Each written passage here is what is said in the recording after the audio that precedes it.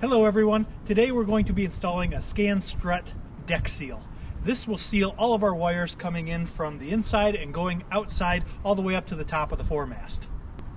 These wires will include the VHF antenna and all the navigation lights going up to the top of the foremast.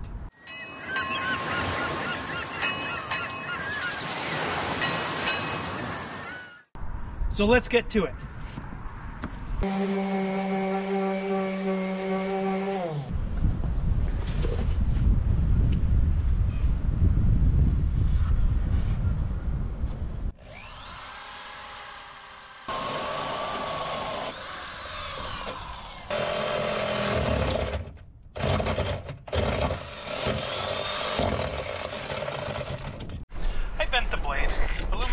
Sticky.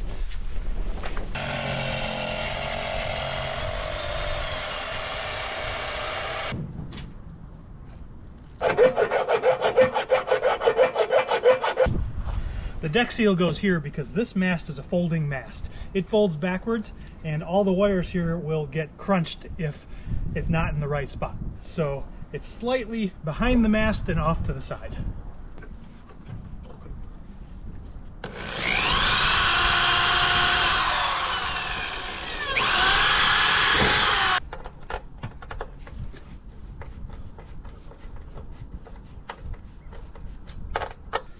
How this works is this is a rubber seal that the wires pass through and this base when tightened down clamps around the wires and seals everything coming in and out of the deck.